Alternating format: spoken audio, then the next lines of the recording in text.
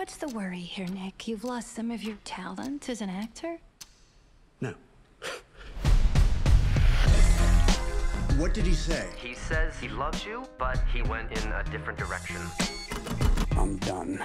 I'm quitting acting. Tell the trades, it was a tremendous honor to be a part of storytelling and myth making. Ah, fuck, man, I'm driving through the hills. I'm sorry. One more time.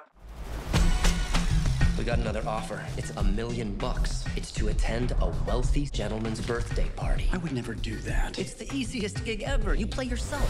What do we know about this guy anyway? Is he into something strange? It's not like he's gonna want you to suck his dick or fuck his wife or watch you watch him fuck his wife. I wouldn't think so.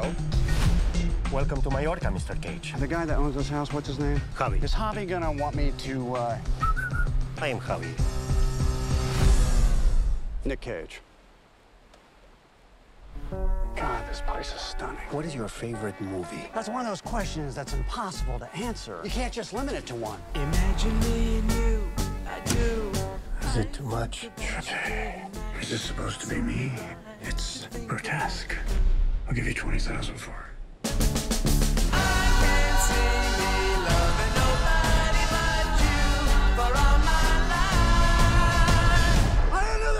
Cliff. We could have died. I'm in position. I think that's the actor Nick Cage. Nick Cage, I love you. Have you seen Croods 2? I'm 44 years old. Why the fuck would I see Croods 2? I've seen Face Off and Con Air. What do you guys want? We're with Central Intelligence. Do you know who you're spending time with? One of the most ruthless men on the face of this planet. I need you to help the U.S. government. Find a way into that room, Nick. I can see myself doing more of this stuff. I think I might have a real gift for it. Good, because we got another mission for you. No, no, no, no, no, no. Your friend is working for the U.S. government. Don't lie to me.